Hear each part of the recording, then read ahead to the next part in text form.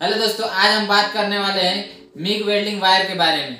कि MIG welding wire का size कितना होता है और ये कितने प्रकार का होता है। तो दोस्तों, मैं वीडियो को शुरू करने से पहले मैं आप लोगों को बता दूँ कि वीडियो को अंत तक बने रहें और वीडियो को अच्छे तरीके से देखें। तो चलिए दोस्तों, वीडियो को स्टार्ट करते हैं मैं आपको बताता हूँ कि ये कितने प्रकार का होता है और इसका साइज़ क्या क्या होता है। तो दोस्तों, मिग वेल्डिंग वायर मुख्यतः चार प्रकार के होते हैं। और दोस्तों, मैं आपको बता दूँ कि इनका साइज़ क्या क्या होता है। तो दोस्तों, इनका साइज़ होता है 0.8 पॉइंट mm पहला जो होता है। और दूसरा साइज़ जो होता है 1.2 mm और जो दोस्तों, तीसरा साइज़ होता है, वो 2 mm का होता है।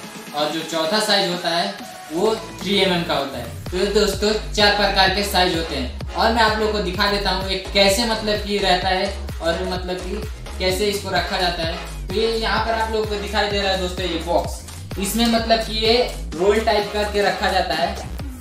तो ये दोस्तों मिग वेल्डिंग वायर है तो मैं इसको पैकिंग खोल रहा हूँ। और मैं इसको आपको लोगों को दिखा देता हूँ कि किस तरीके से। ये जो दोस्तों हम लोग, ये जो है पॉइंट एट एम का मिग वेल्डिंग वायर है, जो हम लोग यूज़ करते हैं। देखिए दोस्तों एक किस तरीके से इसका पैकिंग हुआ है। यह है MIG welding wire eight M का है।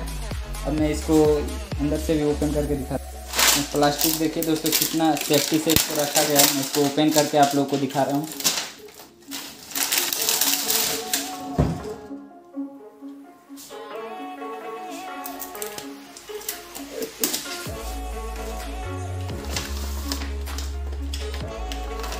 देखिए दोस्तों, इस तरीके से मिग वेल्डिंग वायर रहता है। ये पॉइंट एट एम का मिग वेल्डिंग वायर है। तो इसी तरीके से जो चार प्रकार के रहते हैं, इसी प्रकार से उनको भी पैकिंग किया जाता है। पैकिंग में ही दोस्तों ये सिल्का जेल आता है, जो मतलब वायर के बीच में लगाते हैं